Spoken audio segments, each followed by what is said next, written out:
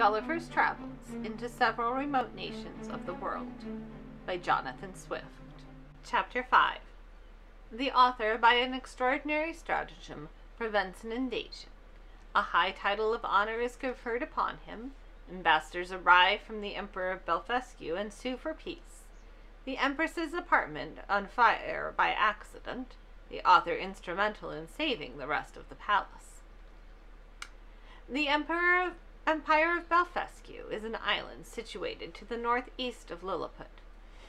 from which it is parted only by a channel of 800 yards wide. I had not yet seen it, and upon this notice of an intended invasion, I avoided appearing on that side of the coast, for fear of being discovered by some of the enemy's ships, who had received no intelligence of me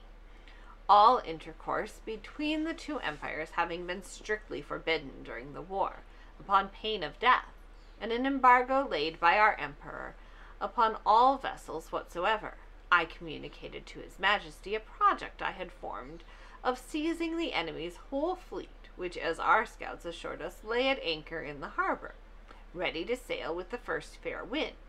I consulted the most experienced seamen upon the depth of the channel, and which they had often plumbed,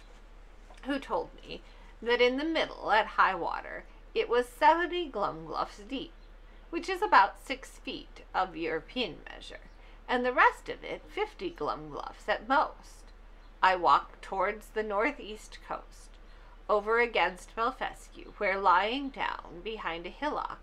I took out my small perspective glass and viewed the enemy's fleet at anchor, consisting of about fifty men of war and a great number of transports. I then came back to my house and gave orders, for which I had a warrant, for a great quantity of the strongest cable and bars of iron. The cable was about as thick as packthread, and the bars the length of and size of knitting needle. I trebled the cable to make it stronger, and for the same reason I twisted three of the iron bars together, bending the extremities into a hook. Having thus fixed fifty hooks to as many cables, I went back to the northeast coast, and putting off my coat, shoes, and stockings, walked into the sea, in my leathern jerkin. About half an hour before high water, I waited with what haste I could and swam in the middle about thirty yards, till I felt ground.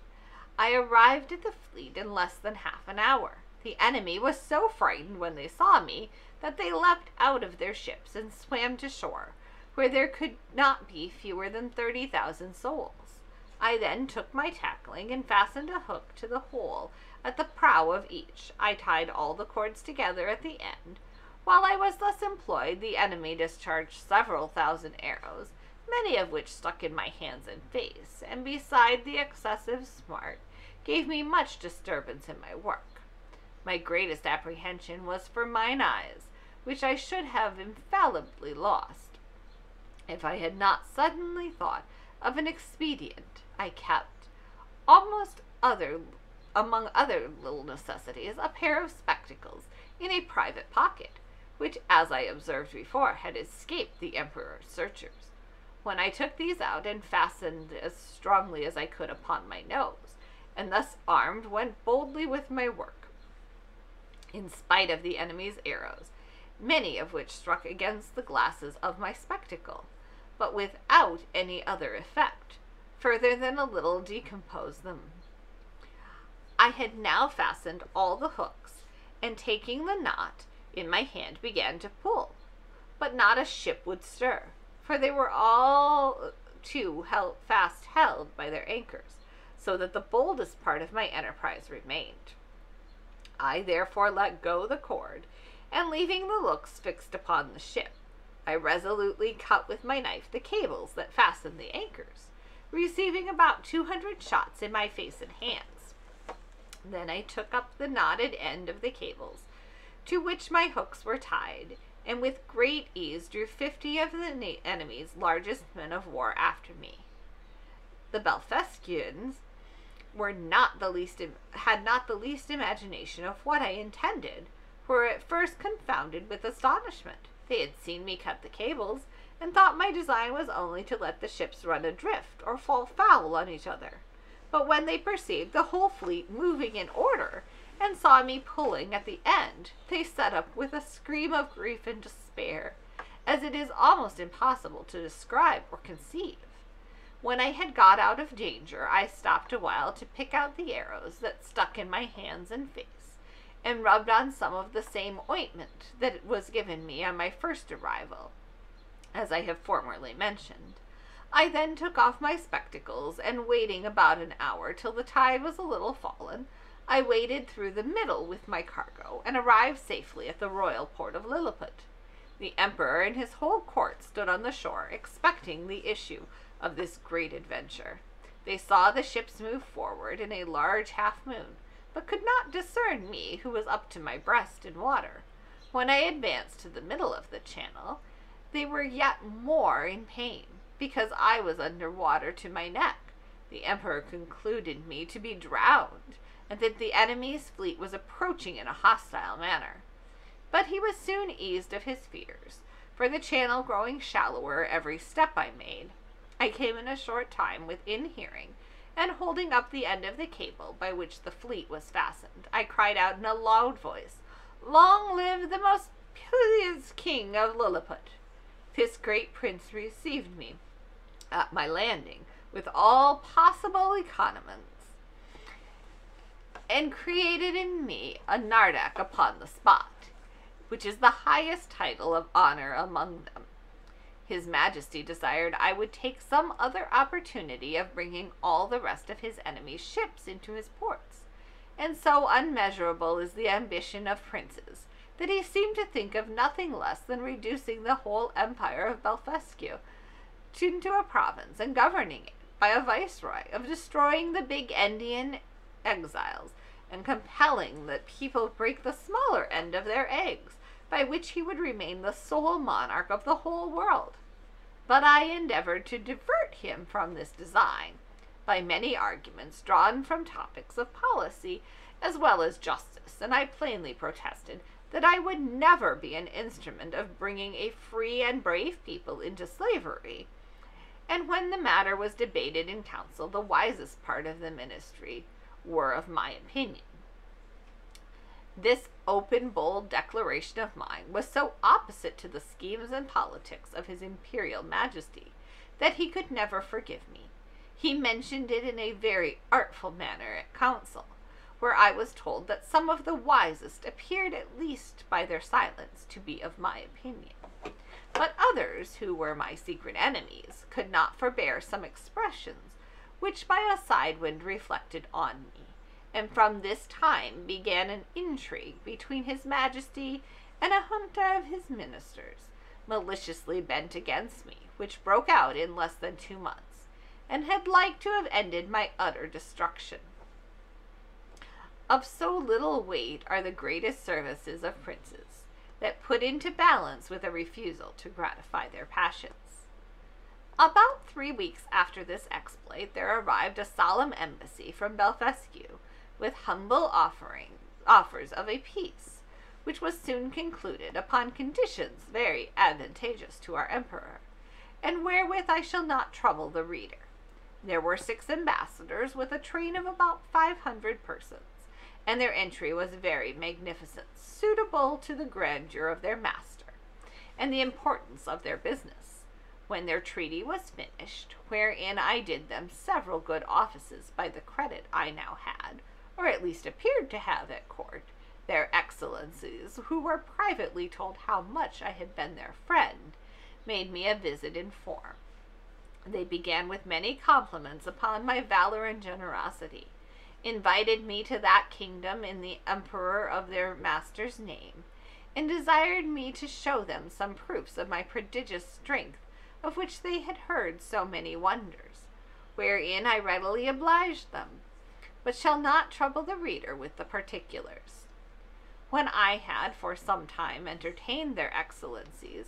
with their infinite satisfaction surprise, I desired that they would do me the honor to present my most humble respects to the emperor their master, the renown of whose virtues was so justly filled the whole world with admiration, and whose royal person I resolved to attend, before I returned to my own country. Accordingly, the next time I had the honor to see their emperor, I desired his general license to wait on the Belfescian monarch, which he was pleased to grant me, so I could perceive in a very cold manner, but could not guess the reason till I had a whisper from a certain person that Flimnap and Bolgolam represented my intercourse with those ambassadors as a mark of disaffection, from which I am sure my heart has wholly free. This was the first time I began to conceive some imperfect idea of courts and ministers. It is to be observed that these ambassadors spoke to me by an interpreter, the languages of both empires differing as much as from each other as any two in Europe, and each nation priding itself upon the antiquity, beauty, and energy of their own tongue, with an avowed contempt for that of their neighbor. Yet our emperor, standing upon the advantage he had got by the seizure of their fleet, obliged the, to deliver their credentials and make their speech in the Lilliputian tongue. And it must be confessed that from the great intercourse of trade and commerce between both realms, from the continual reception of exiles, which is mutual among them, and from the custom in which each empire to send their young nobility and richer gentry to the other in order to polish themselves by seeing the world, and understanding men and manners, there are few persons of distinction, or merchants or seamen, who dwell in the maritime parts, what can hold conversation in both tongues. As I found some weeks after when I went to pay my respects to the Emperor of Blefuscu, which, in the midst of great misfortunes, through the malice of my enemies, proved a very happy adventure to me, as I shall relate in its proper place. Uh, the reader may remember that when I signed those articles upon which I recovered my liberty, there were some which I disliked, upon account of their being too servile. Neither could anything but an extreme necessity have forced me to submit. But being how a Nardak of the highest rank in that empire, such offices were looked upon as below my dignity, and the emperor, to do him justice, never once mentioned them to me. However, it was not long before I had the opportunity of doing his majesty, at least as I then thought, a most signal service. I was alarmed at midnight by the cries of many hundred people at my door, by which, being suddenly awaked, I was in some kind of terror. I heard the word burglum repeated incessantly. Several of the emperor's court, making their way through the crowd, entreated me to come immediately to the palace, wherein her imperial majesty's apartment was on fire, by the carelessness of a maid of honor, who fell asleep while she was reading a romance. I got up in an instant, and orders were being given to clear the way before me. And it being likewise a moonshine night, I made a shift to get to the palace, without trampling any of the people. I found they had already applied ladders to the walls of the apartment, and were well provided with buckets, but water was at some distance. These buckets were about the size of large thimbles, and the poor people supplied me with them as fast as they could, but the flames were so violent that they did little good. I could easily have stifled it with my coat, which I unfortunately left behind me for haste, and came away only in my leather jerkin. The case seemed wholly desperate and deplorable and this magnificent palace would have infallibly been burnt down to the ground, if, by a presence of mind unusual to me, I had not suddenly thought of an expedient I had.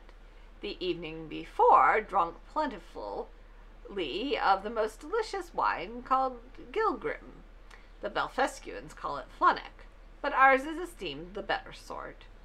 which is very diuretic. By the luckiest chance in the world, I had not discharged myself of any part of it. The heat I had contracted by coming very near the flames, and by laboring to quench them, made the wine begin to operate by urine, which I voided in such quantity and applied so well to the proper places, that in three minutes the fire was wholly extinguished, and the rest of that noble pile, which had cost so many ages in erecting, persevered, preserved from destruction. It was now daylight, and I returned to my house without waiting to congratulate with the empire, emperor, because, although I had done a very eminent piece of service yet, I could not tell how his majesty might resent the manner by which I had performed it. For by the fundamental laws of the realm, it is capital in any person, of what quality soever, to make water within the precincts of the palace. But I was a little comforted by a message from his majesty that he would give orders to the grand justiciary for passing my pardon in form, which, however, I could not obtain, and I was privately assured that the empress, conceiving the greatest abhorrence of what I had done, removed to the most distant side of the court, firmly resolved that those buildings should never be repaired for her use, and in the presence of her chief confidants